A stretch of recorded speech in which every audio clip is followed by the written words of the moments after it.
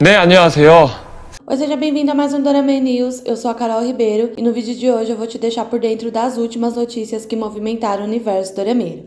Lee Min-jung e Lee Byung-hun confirmam que estão esperando seu segundo filho. No dia 4 de agosto, o News One informou que a Lee Min-jung está grávida do seu segundo filho. Em resposta ao relatório, a agência da atriz confirmou, aspas, é verdade que a Lee Min-jung está grávida do seu segundo filho. Lee Byung-hun e Lee Min-jung estão felizes com isso, pois ambos desejavam o segundo filho fecha aspas. Os dois atores se casaram em 2013 e tiveram um primeiro filho em 2015. Parabéns à família e eu desejo que venha com muita saúde. A agência de Idon Hill confirma sua data de alistamento militar. No dia 3 de agosto, a MBC informou que o Idon Hill vai se alistar no exército. Em resposta ao relatório, a Yehua, agência do ator, divulgou um comunicado oficial confirmando a notícia.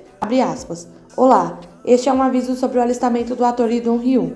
Depois de receber treinamento militar básico no centro de treinamento que começa no dia 14 de agosto, o Idon Hyun cumprirá o seu dever militar através da banda militar da ROCAF. Nenhum evento oficial separado será realizado no dia do alistamento e pedimos aos fãs que evitem visitá-lo, pois é um evento privado ao qual comparecerão vários militares e familiares. Por favor, envie seu caloroso apoio e incentivo a Idon Ryu, que retornará com boa saúde depois de cumprir os seus deveres militares. Obrigada, fecha aspas. Desde a sua estreia no Prison Playbook em 2017, o Idon Ryu estrelou vários projetos de sucesso, incluindo Hotel Del Luna, 18 Outra Vez, Sweet Home, Juventude de Maio, Melancolia, A Lição e o mais recente, A Boa Mãe Má. O ator atualmente está se preparando para o seu fan meet, que acontece no dia 5 de agosto. Eu desejo ao Idon Hyun um serviço seguro e saudável. Jisoo Blackpink e Rambo Ryu confirmaram que estão em um relacionamento, mas Jung Hain comenta sobre a notícia. Eu já fiz um vídeo aqui no canal só sobre essa notícia, eu vou deixar aqui nos cards para quem perdeu, mas resumidamente no dia 3 de agosto a Dispatch informou que a Jisoo e o Rambo Ryu estão em um relacionamento, as agências dos artistas foram procuradas e eles confirmaram o namoro. O vídeo com mais detalhes, inclusive o comentário do Jung Hain sobre a notícia, eu vou deixar aqui nos cards. Eu desejo toda a felicidade ao casal. Ainda sobre o Jang Hain, o seu próximo programa de variedades ao lado do One confirmou a data de estreia. No dia 2 de agosto, foi anunciado que o One e o Jang Hain vão estrelar o novo programa de variedades de viagem da JTBC, Atores em uma Jornada. O programa apresenta os atores One e Jang Hain, ambos nascidos em 1988, viajando por toda a Escócia com um whisky. Conhecidos por serem amigos íntimos e amantes do whisky, os dois vão viajar para a Escócia, que é um dos locais com maior produção de whisky. O programa Atores em uma Jornada vai estrear no dia 23 de agosto. Aqui no Brasil a gente ainda não sabe por onde a gente vai conseguir ver com a legenda em português. Assim que eu descobrir, eu aviso pela comunidade aqui do canal, ou aqui nos comentários desse vídeo, ou lá no Instagram.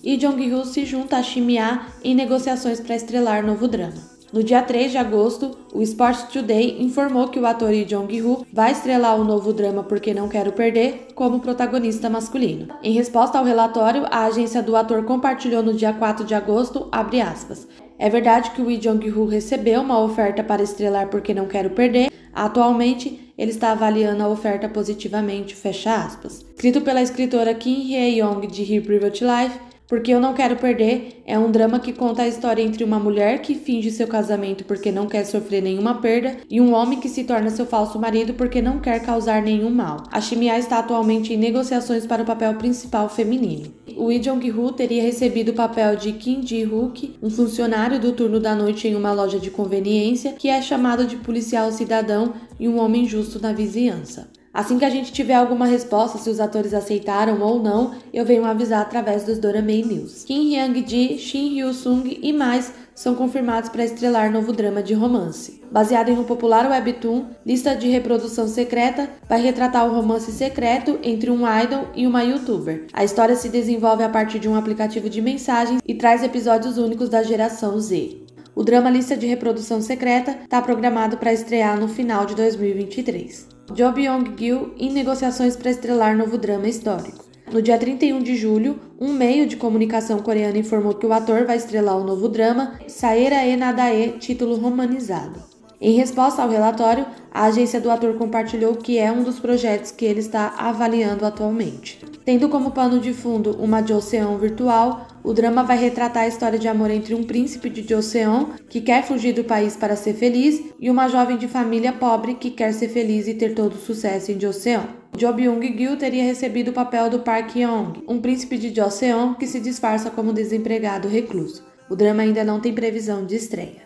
Ji Chan-wook e Ri Seung-hyun em negociações para estrelar novo drama. No dia 28 de julho, a JTBC News informou que o Ji Chan-wook e o Ryu Sung-hyuk vão estrelar o drama Pinho.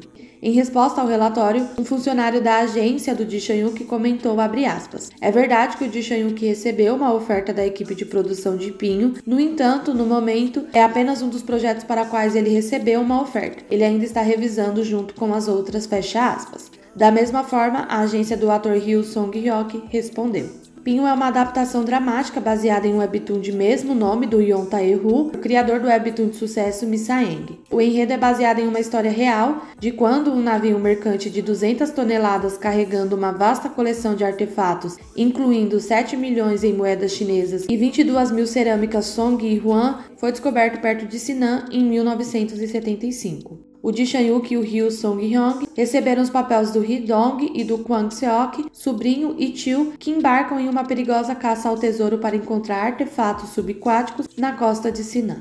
O drama ainda não tem uma previsão de estreia. E aí, você estava sabendo dessas notícias, o que você achou? Me conta aqui nos comentários. Eu espero que você tenha gostado do vídeo. Se você gostou, não esquece de deixar o like, se inscrever aqui no canal, compartilhar esse vídeo com seu amigo e amiga Dorameira e me seguir no Instagram. Muito obrigada por você ter assistido até aqui. Até o próximo vídeo. Tchau!